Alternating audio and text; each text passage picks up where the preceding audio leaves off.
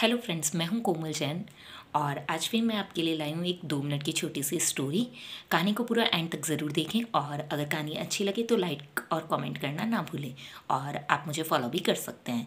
तो आज की कहानी है मेढक की।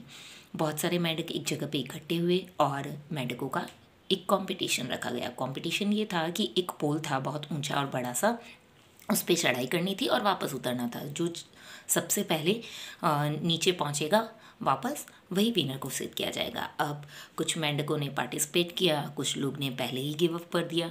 तो कुछ लोगों ने पार्टिसिपेट किया तो कुछ मेंढक चढ़ने लगे और थोड़ी दूर पहुँचने के बाद गिर गए और कुछ ने हार मान ली। और लेकिन कुछ लोग थे, वो आधे से ज़्यादा ऊंचाई पे पहुँच गए। एक मेंढक था, वो धीरे धीरे चढ़ाई करते जा रहा था। नीचे के लोग थे, वो कुछ लोग कुछ मेंढक बोल रहे थे कि ऊपर चढ़ तो जाओगे, लेकिन उतरते वक्त नहीं उतर पाओगे, तुम गिर जाओगे। कुछ लोग बोल रहे थे कि ये तुमसे नहीं होगा।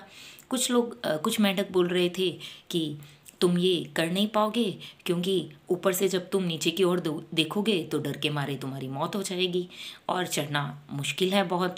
इस तरीके से नीचे से जो बाकी मेंढक थे, जो चढ़ाई नहीं कर पा रहे थे ज़ोर ज़ोर से बातें कर रहे थे, कुछ कुछ चिल्ला रहे थे, कुछ ना जाने के लिए बोल रहे थे। लेकिन वो मेंढक था, वो चढ़ाई करता जा रहा था। चढ़ाई करते करते वो ऊपर की ओर पहुँच गया और धीरे धीरे वापस नीचे की ओर आ गया और इस तरीके से वो विजय घोषित हो गया।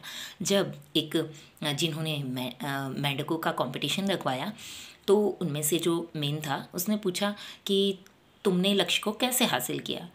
उन्होंने इतना क्वेश्चन किया ही था कि उसके साथी मेंढकों ने पूछा कि इसने जीत इसलिए हासिल की क्योंकि ये बहरा है और ये कानों से सुन नहीं सकता है।